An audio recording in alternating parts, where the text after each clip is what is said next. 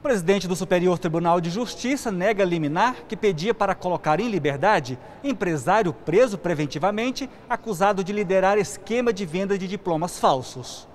O pedido foi negado pelo ministro Humberto Martins, que afirmou que não foi demonstrada ilegalidade na prisão preventiva. Ao impetrar o habeas corpus no STJ, a defesa do empresário alegou que a denúncia não apresentou elementos concretos que o confirmassem como líder da organização além de questionar a fundamentação do decreto prisional e pedir a adoção de medidas cautelares diversas. O homem foi preso após a Operação Educate apurar esquema de emissão irregular e vendas de diplomas e certificados no Rio Grande do Sul.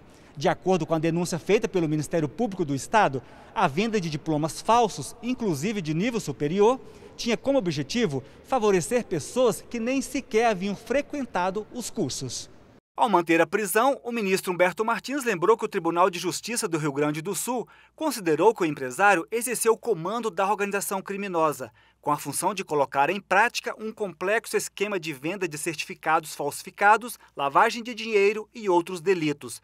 Ainda de acordo com o Tribunal de Justiça do Estado, a prisão teve como objetivos garantir a ordem pública e evitar a prática de novos crimes. O mérito do habeas corpus será analisado pela quinta turma.